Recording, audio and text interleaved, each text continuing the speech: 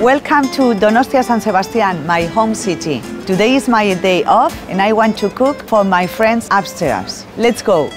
I am Elena Arzak from restaurant Arzak that exists in 1897. I'm the fourth generation of chefs in my family. Today I'm going to cook a plate based on crab, a not extremely complicated plate, but original. Bueno, we have the leeks, we have the carrots, onion, I, I have my friend the txangurro. The first I need is to have the vegetable chopped. I'm cooking for three friends. They are critics, but always in a positive way. After finish chopping the vegetables, we need more or less 20 minutes to poach them. Add a little bit of salt. The products in the market are so fresh and they are really ecological.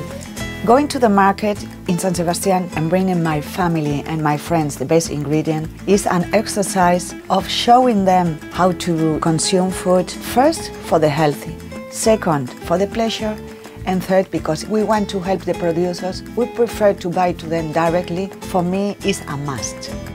Now I'm going to explain you how I cook the crab. After boiling, you get a juice that I'm going to use for the cooking. And I take off the claws. I open the head. Now I'm crushing the claw with the knife. Please be careful at home with the knives. I'm a chef. Eh? Be careful, please.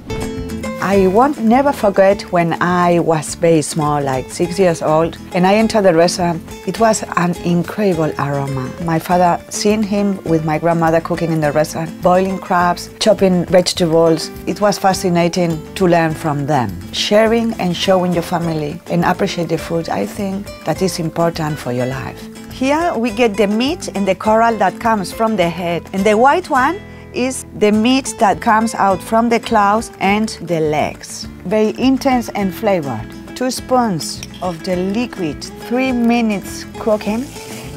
Now it's time to add the brandy, not too much, and fire. During the processes, I made some salty biscuits that contain clove, ginger, and a little bit of limes.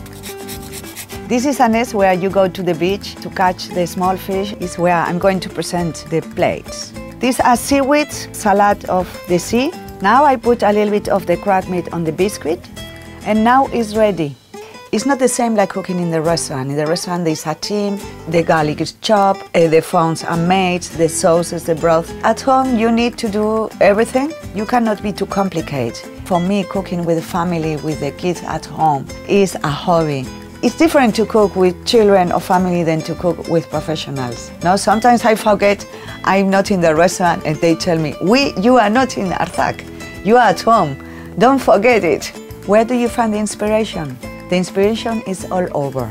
I can be inspired going to the market, you can be influenced by the colors used by a painter, the shape of a sculpture by a song, to listen to the young people. So many ideas to get inspired is endless, endless. Now it's time to eat. Everybody can be a chef. The most important is the intention. Don't be scared and try what you really like and please don't give up. Eh? Don't give up.